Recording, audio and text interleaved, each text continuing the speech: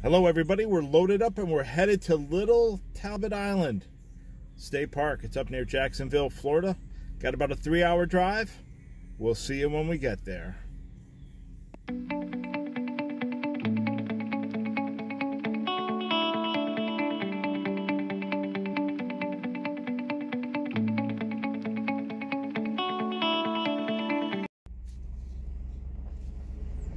All right, everybody. I just arrived. Uh, I checked in at the ranger station. That's actually across the street from the campground. So I guess the main body of the camp and the campground, uh, or the state park, I should say, and the campground are opposite each other. We're gonna drive down this road, little bumpy, find our site, set up, and then we'll go from there. Okay, everybody, finally I've got everything set up here at camp. I'm going to give you a brief uh, little walkthrough here of how I set things up, and then we are going to go explore. The campground is separate from the park. The state park is on the opposite side of the road, and they close at sunset. Uh, however, uh, one of the uh, forest employees let me know here that the kayak launch is not too far from me. So I'm going to give you a brief overview of uh, the campsite, uh, what it looks like uh, empty, and what it looks like with my stuff in it. And then we're going to head over to the kayak launch, and then we're going to try to get over to the state park, do a little overview there, get to know the lay of the land. All right, guys, so this is site number seven that's here at Little Talbot Island. And uh, as you can see, you know, picnic table, fire ring, your electrical over there in the corner. Uh, pretty much everything is a back into site, okay? There's no pull through sites here. The state campground, um, with the camp recreation side being across the street. And uh, yeah, let me give you how, give you a little look see on how I set mine up. Now the truck is gonna move. The truck isn't gonna stay like that.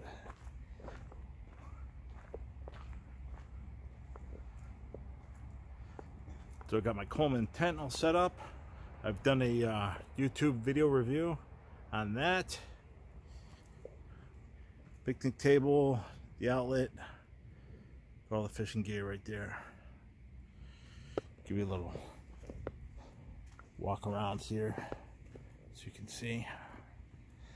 Got the grill set up in the back. This is my fire pit area, some firewood for this evening. sure I'll be stocking up on that. So yeah, just a really quick overview of my site, what it looks like, where I'm at. Let's go see if we can find that kayak launch.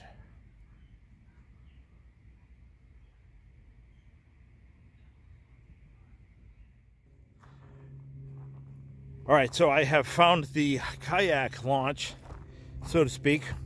It's here in the marsh. Look at all of these little fiddler crabs coming out. Absolutely insane. But anyways, here at the launch, it's low tide, obviously. Goes back a ways.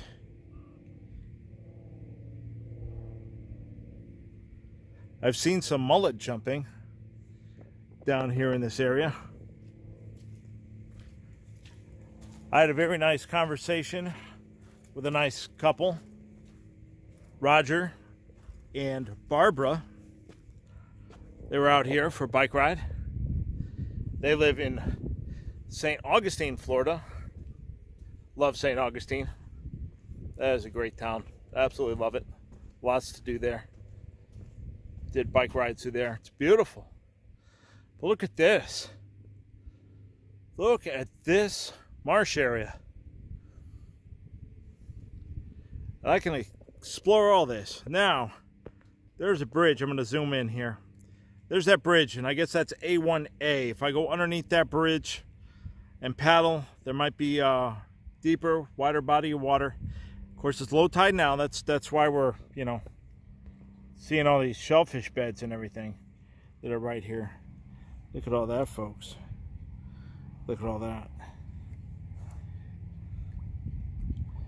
And you see little bait fish jumping around. But let me zoom back to that bridge where you see all the cars going. So if you take, I guess, A1A, Roger, we're saying you can go all the way up uh, to Fort Clinch. Uh, you can go all the way up to Fort Clinch and what have you and see that nice historic site up there. We might try to make our way up there. Tomorrow's weather forecast. 50% chance of rain, folks. 50% chance of rain. So this is day one, showcasing some of the park. Absolutely beautiful. You got a bird flying overhead. There it is. Haha.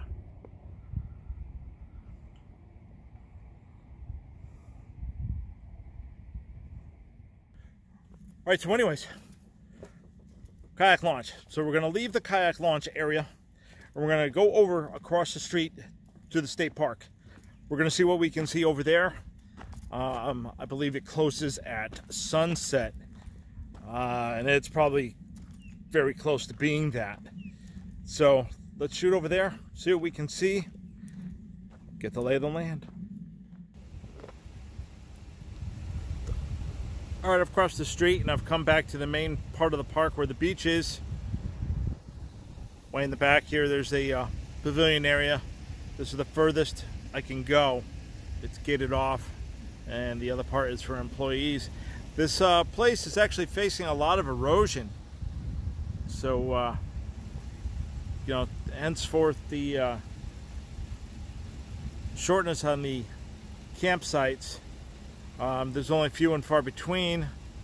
And then uh, here, limited uh, access, but beautiful water and beach, from what I am told by the park ranger. So let's check it out. All right, so we've walked from the parking lot, this little bathhouse area. Yellow flag warning, medium hazard. And we're gonna walk out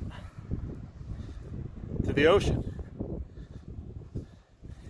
out to the beach and see the water.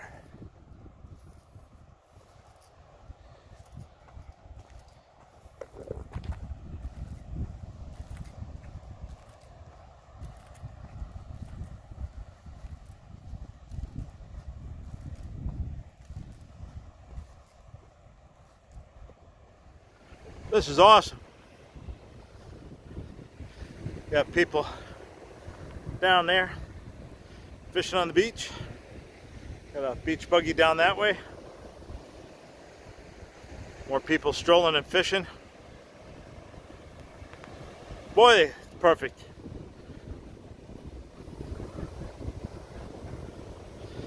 The, the only thing that I see so far is a drawback to this place.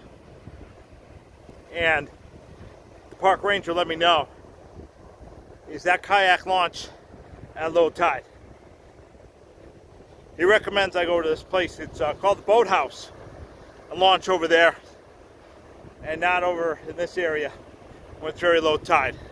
He doesn't want me to get stuck out there and I appreciate his help, appreciate his guidance. That is probably what we're going to do. Look at this, folks.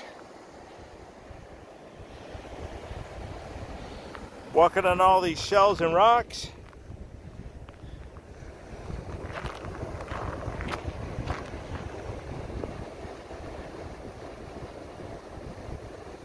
Got a couple container ships out there.